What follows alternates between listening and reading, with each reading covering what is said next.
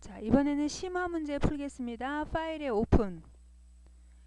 어, 심화 문제 폴더로 이동을 할게요. 심화 문제 샘플에 3-1번이랑 2번 두 개 합성합니다.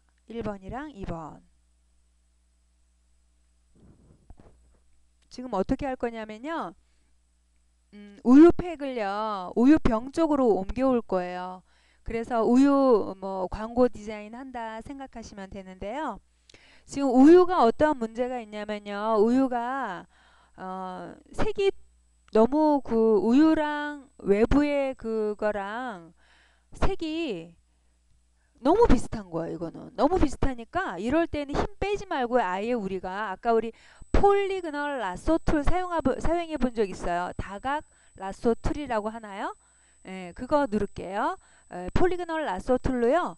이렇게 경계선을 우리 사람의 눈이 정확하거든요. 이럴 때는 그래서 이렇게 이렇게 곡선 부분은 짧게 짧게 클릭해 주고요. 직선 부분은 넓 아이고 다시 해야 되겠다. 곡선 부분은 짧게 짧게 클릭, 직선 부분은 넓게 넓게 클릭해 가면서 우리가 우리가 선택을 하는 방법이 있죠. 뭐 네, 폴리고널 라소가 싫으면 펜툴로 해야 되는데 펜툴은 좀 부담돼서 제가 그냥 이걸로 간단하게 하는 거예요.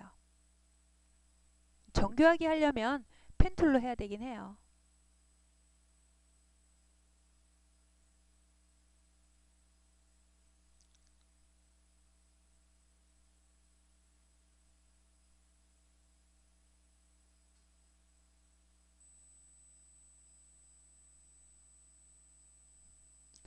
자 이렇게 선택 상태가 됐으면요. 단축키로요. 컨트롤 눌러도 이동이 된다 그랬거든요. 그죠 컨트롤 누르고 있으면 일시적으로 move tool 기능이 동작되니까 이렇게 이동하시면 돼요.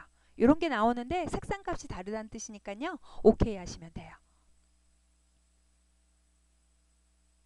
여기 들어왔어요? move tool 누를게요 이제는요. 자 이렇게 이동을 해 놓습니다. 이렇게. 이렇게 해서 이제 뭐 어, 우유 포스터 디자인에 이대로 이제 뭐 글자 넣어서 예, 사용하시면 돼요.